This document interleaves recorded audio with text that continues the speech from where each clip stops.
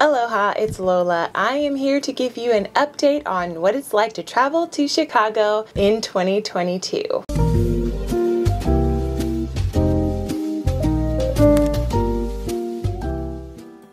If you're planning on visiting the Windy City in 2022, here's what you need to know first. Effective February 28, 2022, the City of Chicago has removed its mask requirements for most indoor and outdoor settings. All individuals, regardless of vaccination status, will still be required to wear masks in the following settings. Those settings are places where it's federally mandated, on planes, buses, trains, and general public transportation settings, in all healthcare settings, and in select additional congregate facilities, meaning places where people are congregating in large amounts. So you'll have to check for specific rules depending on where you're going. This is a general guideline, but certain private property establishments still can enforce their own mask mandates people with symptoms, a positive test, or who have been exposed to someone with an illness should wear a mask at all times when around other people. There is currently a travel advisory still in place for the city of Chicago. This map on the screen will show you the states and territories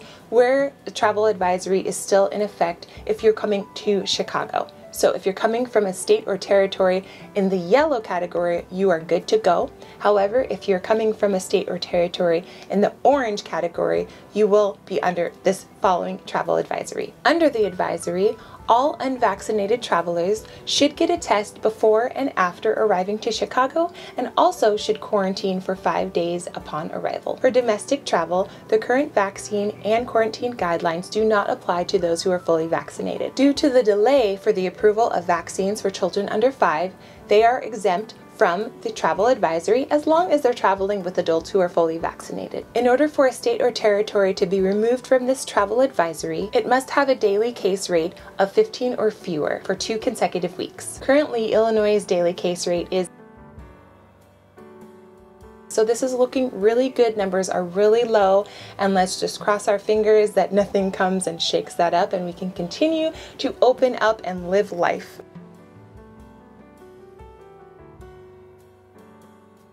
For international travel, the US CDC requires that everyone, regardless of vaccination and citizenship status, receive a negative test no more than one day. If you test positive, you should isolate for at least five days from the date of your positive test if you are not experiencing symptoms. If you are experiencing symptoms, you should isolate five days beginning the day you first experienced symptoms. Interestingly, the website did say that if you are unable to quarantine, you should wear a mask for 10 days when around other people. But if you're unable to wear a mask, you should isolate for 10 days. So I would say just do your best following the guidelines to the best of your ability and keeping in mind the health of everyone around you. All those guidelines being said, do keep in mind that private establishments are allowed to enforce their own mask rules. So just as a general rule, you should just keep one with you so that you can partake in activities and not have to worry about being turned away because you don't have a mask with you. All right, so now on to the fun stuff. What can we do in Chicago? What can't we do? I will go down the list of things that I've checked out as well as some other things that are recommended that I'm looking forward to checking out next time I'm there. If you're into plants like I am,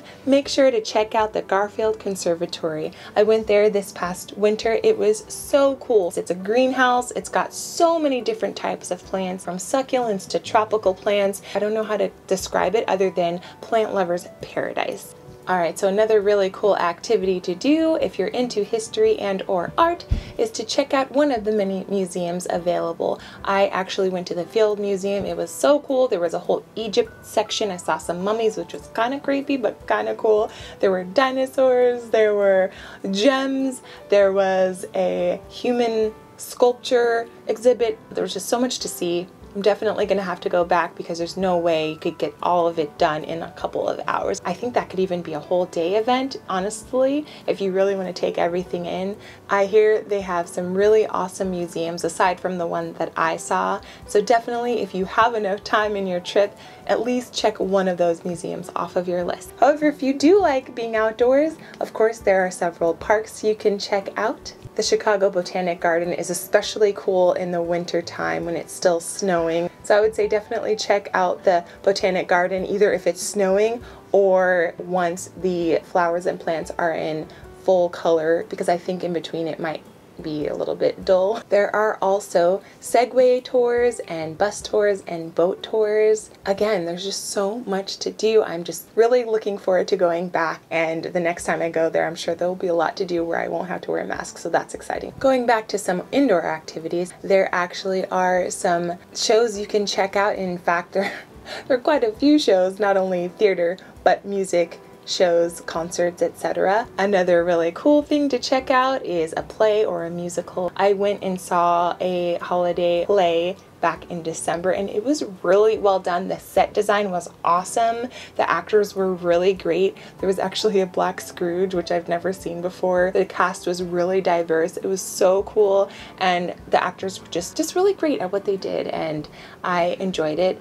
Okay, going back to outdoor activities, my all-time favorite, the Maggie Daley Ice Skating Ribbon. There are other activities you can do in that area, like rock climbing, there's a little kids playground, and then right around the corner is the Bean. It's an iconic spot to take photos. It's an art installation. Going back to an indoor activity, the John Hancock Center is another cool thing to check out. It's really beautiful views of the city and over Lake Michigan. It's just thing you should do at least one time. And they also have an attraction called the tilt. You hold on to bars and it tilts you forward so you can look down and see the city. So if you're a thrill seeker, that's something cool to check out. Going back to an outdoor activity, the Ferris wheel. Very cool views and make sure that you check ahead of time what the pricing is and the availability. On windy days, they do shut it down for safety reasons, of course, but it's definitely another thing worth checking out. And then, of course, in addition to all of the activities, the architecture, as I mentioned in a previous video, is really beautiful. If you like architecture specifically, definitely walk around uh, in the safe areas and you will not be disappointed. I thought that the churches there and all of the different buildings from different time periods were really, really cool to see and something that I'm not used to from where I grew up and where I live now.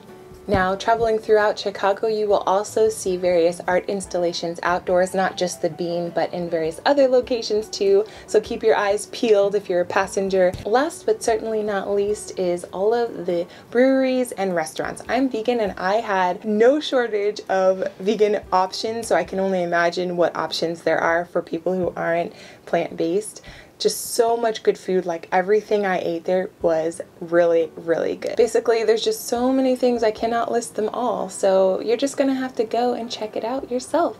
Make sure to follow up with the CDC guidelines just in case any new developments happen. All right I hope that helped and enjoy your time in Chicago